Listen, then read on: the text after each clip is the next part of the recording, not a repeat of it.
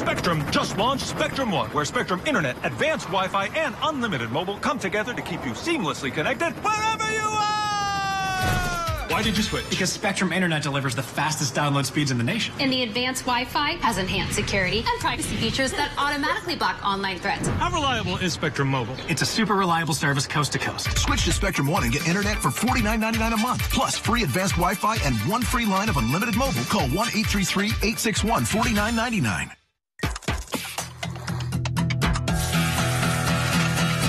Take your day from good to great with Perkins Great Plates under $10. Get big flavor and even bigger savings with our Magnificent 7 breakfast. Big bacon BLT, short stack, and more. All for under $10. And don't forget a delicious pie from our bakery. Save time and order online at perkinstogo.com. Straight ahead, off the job in the middle of a route. We'll have new details on a Tomahawk bus driver quitting. Plus, more room to play for snowmobilers. We'll learn about hundreds of trails opening up tomorrow. And a local tribe is helping the environment through donations. We'll have the details as your local news starts right now. News Watch 12 with Dan Hagan, Jessica Jukic, and Conrad Sapinski. Good evening and welcome to Newswatch 12 at 5. I'm Dan Hagan. And I'm Jessica Jukic. After school on Wednesday, some Tomahawk students boarded a bus to be taken home. But that's not what happened at first. Instead, the driver drove to Tomahawk Bus Services and quit. That's according to the Tomahawk Police Chief, Al Elvins. He told WJFW that during the bus route, the driver became frustrated with the kids she was taking home. The driver then drove to Tomahawk Bus Services without dropping them off. Another driver later took over to finish the route the previous driver abandoned. Chief Elvins also told WJFW that there have been a lot of rumors going around on social media, including that the bus driver pushed a student off the bus. But Chief Elvins says that he did not see any evidence of that when he watched the video. No arrests have been made at this time. A newly released study shows the housing shortage in Wisconsin will likely get worse over the next decade.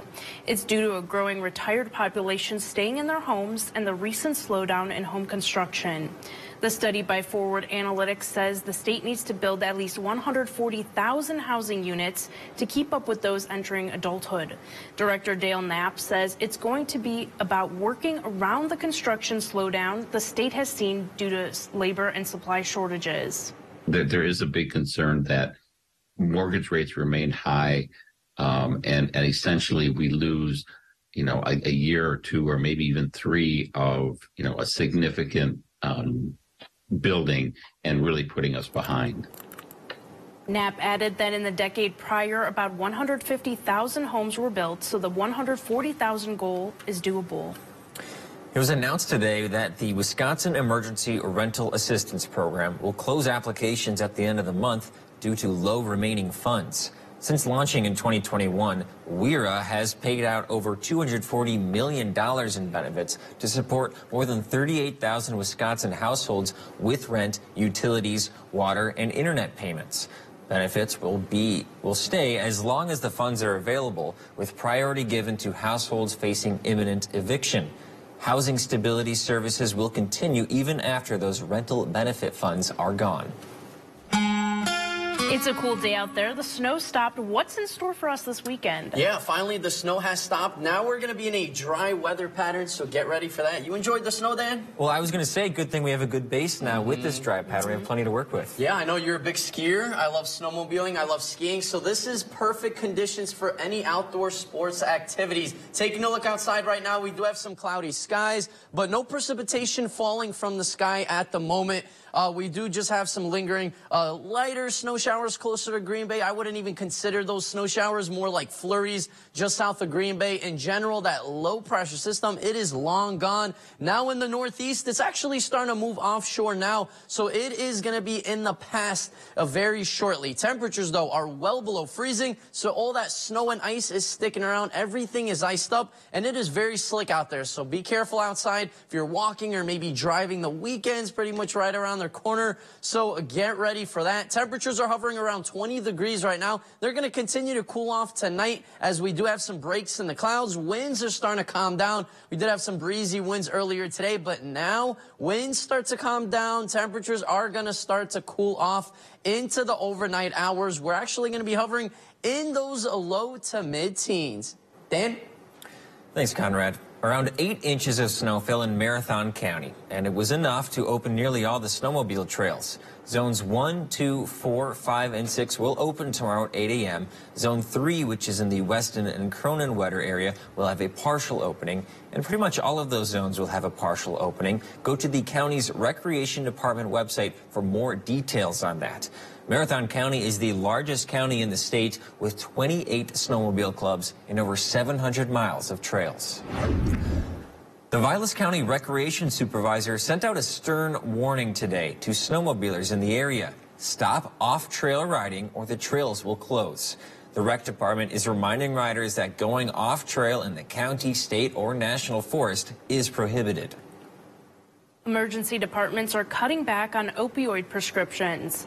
That's according to a report from the CDC showing that opioid prescriptions given in emergency departments dropped to about 8% between 2019 and 2020. That's down from a rate of 12% between 2017 and 2018. Opioid prescriptions have been on the national decline since they reached a peak in 2012. Studies show people who receive opioid prescriptions during emergency department visits are at risk for developing long-term use. Overdose deaths have reached record levels in recent years in the U.S.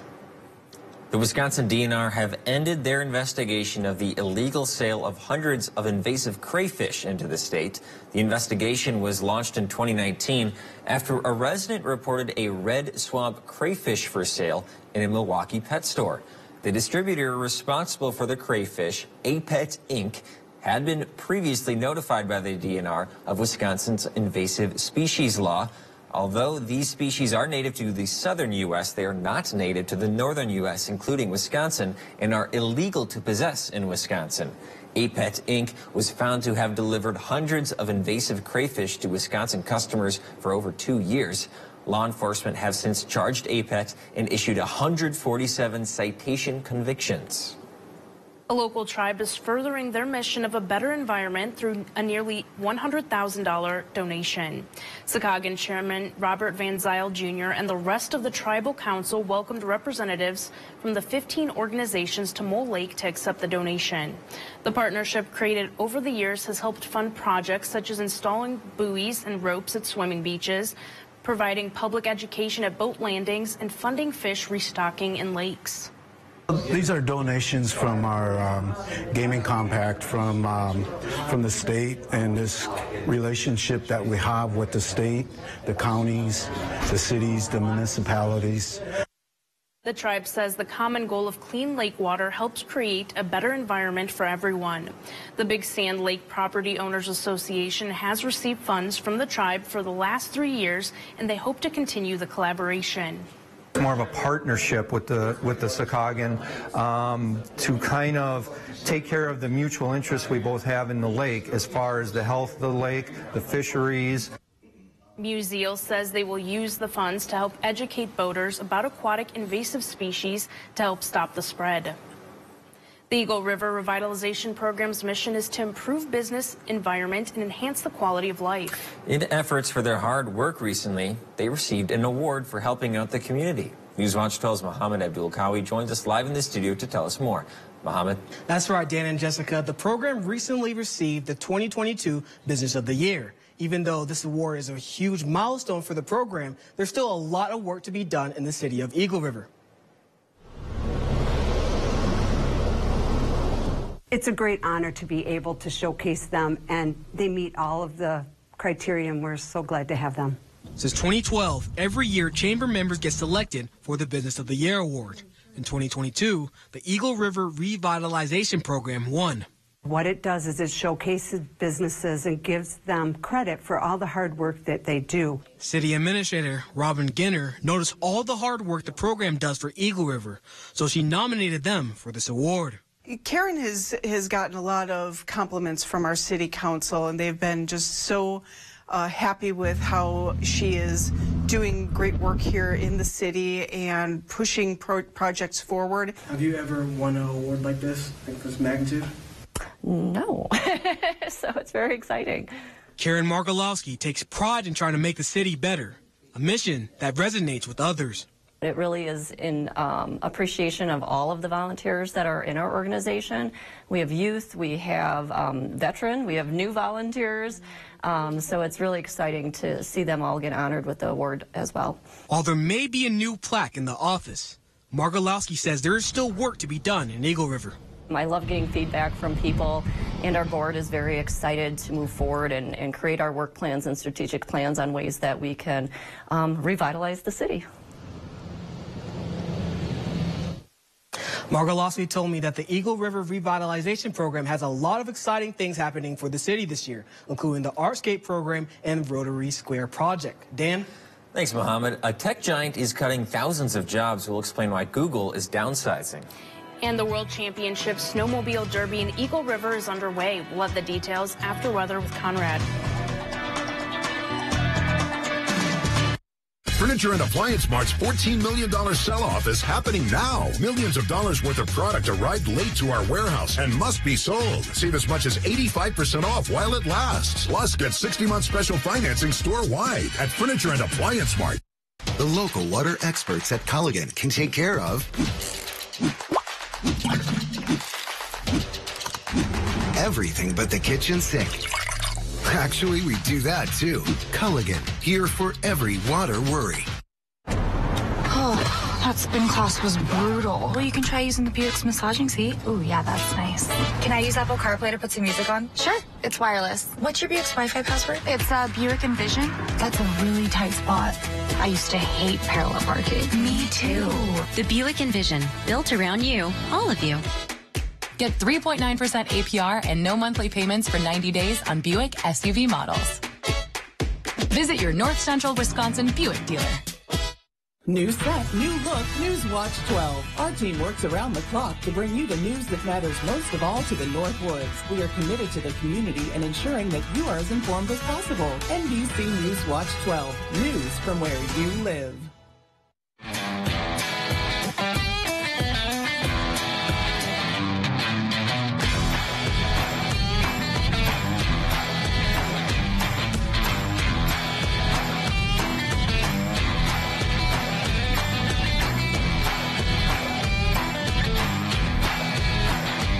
Get an Escape, Edge, or Explorer SUV with 0% APR financing for 36 months only at your Wisconsin and UP Ford dealers.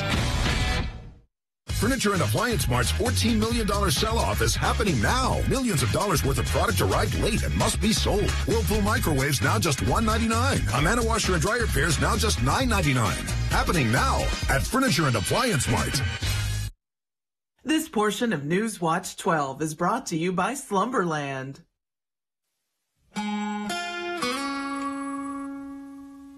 And welcome back, everyone. Behind me is a shot from Minocqua. Look how pretty calm it is out there Friday night. We got some people walking around. Thankfully, they are safe. They are not falling left and right as conditions are definitely dangerous. There is a lot of ice, a lot of snow on the ground. So please take extra precautions and slow down. We do have around 16 inches of snow on the ground, just shy of a foot and a half. So you snowmobilers are loving the snow. The trails are looking really nice. Uh, they're going to get groomed up this weekend. Then into next week, they're going to be looking really nice, especially with all those temperatures well below freezing. And of course, a lot less snow in southern Wisconsin. Right now, though, we do have some cloudy skies. No precipitation is falling from the sky, though. So, hey, that is a good sign for us. The roads and sidewalks might not be in the best shape right now, but we do not have any additional snow on the way. So you could put away those shovels for at least the next couple of days the next several days. Let's say that. So right now across America, we're pretty clear. Uh, that low pressure system is in the northeast right now. Middle of the country looking pretty clear. A couple of clouds lingering in Wisconsin. Same thing in the Twin Cities. The west, though, they've been very active. They've been getting rounds after rounds of storms. Look what's happening now. Nothing. California's seeing lots of sunshine. They are finally in the clear. They had weeks of just nonstop rain and snow coming in.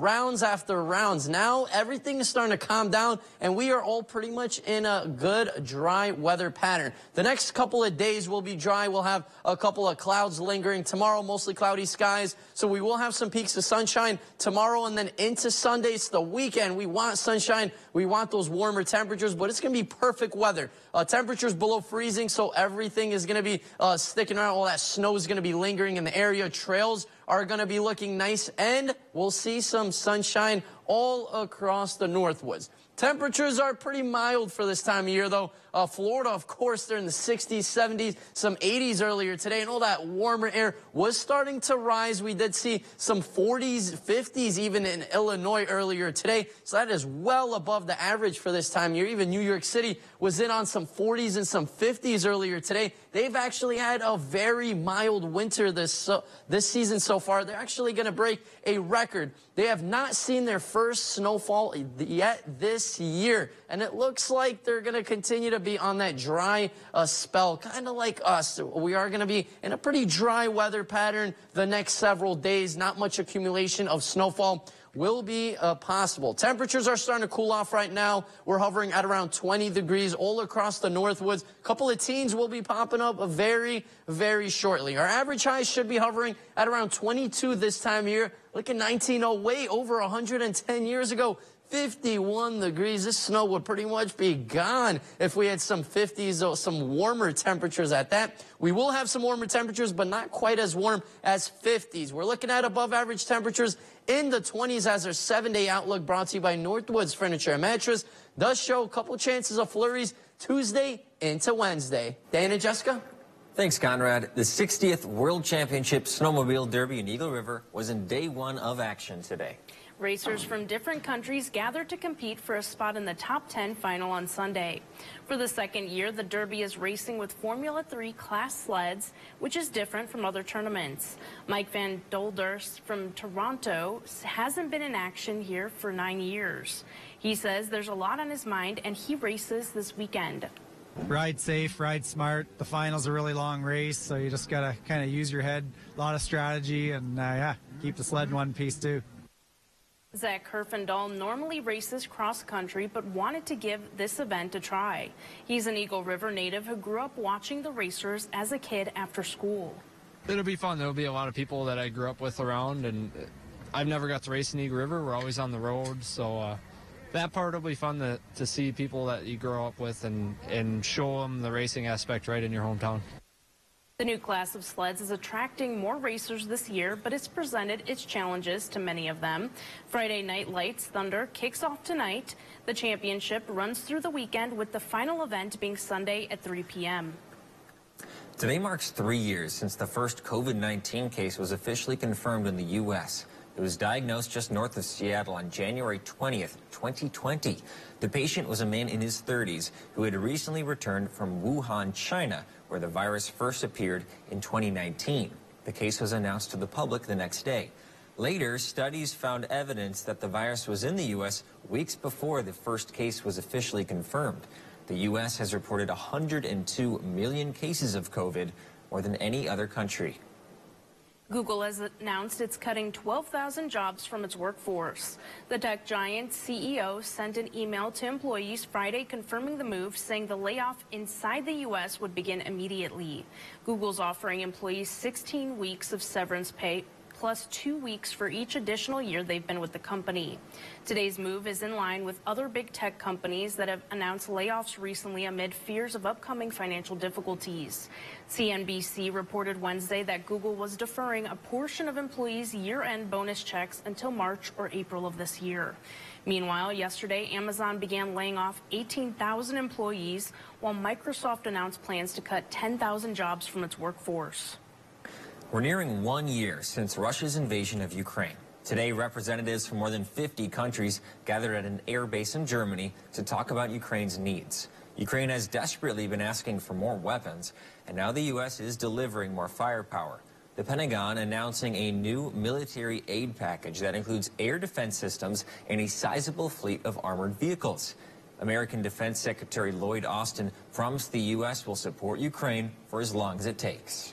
This is a crucial moment.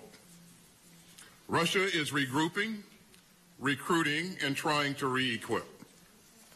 This is not a moment to slow down. You are going to read the It's a time to dig deeper. Another storyline from this meeting, the U.S. and other allies were not able to persuade Germany to give tanks to Ukraine, but that matter will be discussed again in the future. Some television sets are so iconic that you can almost picture them perfectly. And for people who lived through the 90s, that includes a few apartments in New York City. Coming up after the break, we'll see why you can say, hello, Newman, just like Jerry Seinfeld.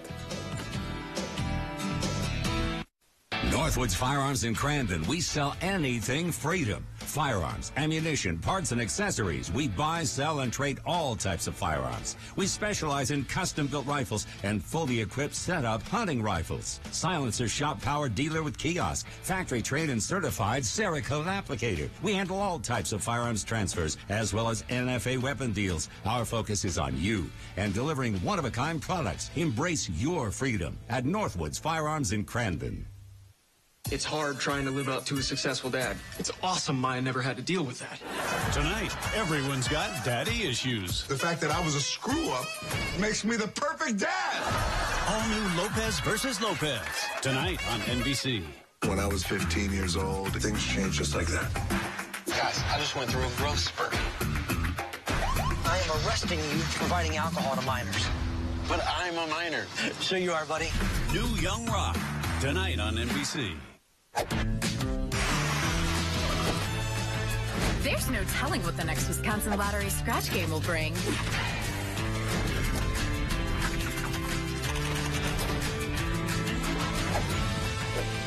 It's Scratch of the Day. This $3 game really shakes things up. If your shake matches the shake needed for that same day, you could win up to $30,000. Scratch games from the Wisconsin Lottery. Odds are you'll like them.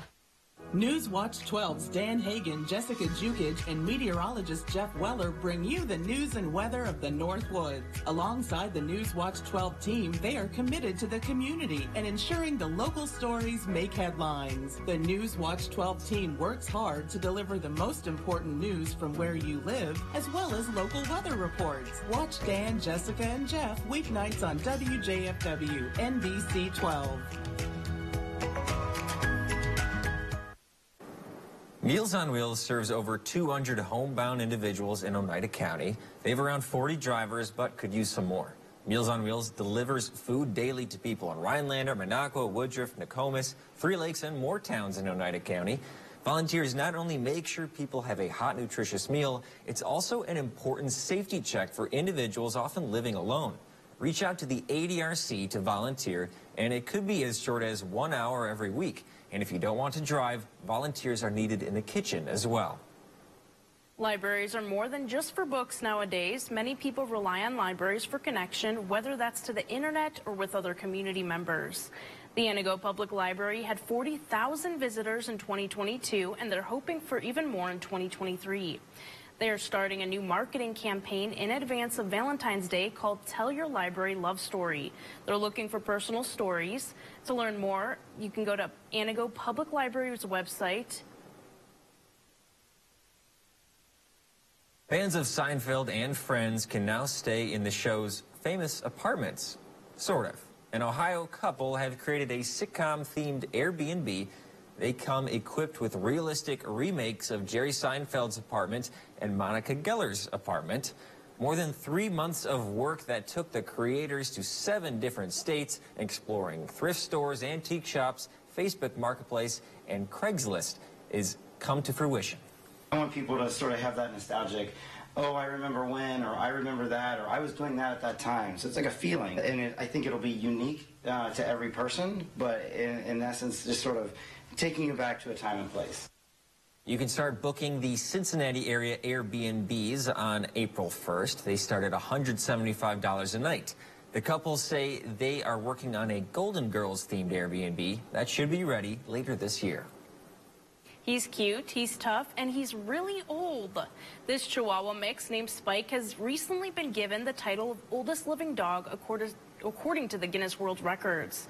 He was certified in December to have been born at least 23 years ago. Guinness says he weighs just under 13 pounds. Spike's owner says she found him about 14 years ago in a parking lot. She says she named him after the big ferocious dog named Spike from Tom and Jerry's cartoons. Spike is nearly blind and hard of hearing, but his owner says he still enjoys spending time with animals on their farm and the people he knows. We'll be back with one final check of the forecast. Northwoods Accents, located in Mercer, features a wide variety of high quality rustic and contemporary furniture, all made in Wisconsin. Complete your patio or deck with maintenance free outdoor furniture. View our best craft living room sets. Denali throws and beddings to warm the chilly evenings. All products have year round low prices with no sales pressure. The owner is available to assist you with any questions. Stop by Northwoods Accents, 5079 US Highway 51 in Mercer. Your personal information gets exposed so often, it might as well be hanging in a museum. Everyday activities like online shopping, banking, and even data breaches may expose your information and make it dangerously easy to have your identity stolen. No wonder there's a new victim every three seconds. Someone stole my information and tried to buy a car in my name. Felt really devastating, frightened, because I had no control. And the ways identity thieves can steal and use your information are constantly evolving. Someone used my information to open up bank accounts in my name. It was terrifying, not knowing what was out there and what had been opened. Watching your accounts or monitoring your credit may not be enough, but protecting your identity can be easy with LifeLock, a leader in identity theft protection. LifeLock monitors threats to your identity and if an issue is detected, sends you an alert. It was a big yes or a big no button. I clicked that's not me and LifeLock took it from there. If you are a victim of identity theft, a dedicated U.S.-based restoration specialist will work to fix it. If something happens, you have somebody fighting for you. I don't know what I would have done without my restoration specialist. And you'll be covered by the LifeLock Million Dollar Protection Package, including reimbursement for stolen funds, personal expenses, and coverage for lawyers and experts if needed. With the Million Dollar Protection Package, I know LifeLock has me covered. It can be dangerously easy to steal your identity, but now it's easy to help protect yourself. I realize identity theft can happen to anybody, so that's why I signed up for LifeLock. Join the millions of people already protected by LifeLock, and for a limited time, save 25% with promo code 25TV. LifeLock. Identity theft protection starts here. Call 1-800-951-7218. Or go to lifelock.com slash 25TV and use promo code 25TV to save 25% on your first year of identity theft protection. Enroll now. What you're about to see is a Channel 12 News exclusive. His name is Nutty the Squirrel, and he's three years old. How about that? That squirrel can water ski. Look at him go. Wow, that is so funny. Definitely no water skiing right now, guys. Everything's all frozen up. But we could go skiing, you know, on the snow. Uh, we do have 16 inches of snow on the ground right now, so that is definitely favorable for a lot of skiing and not water skiing at that. Uh, we still have several months till water.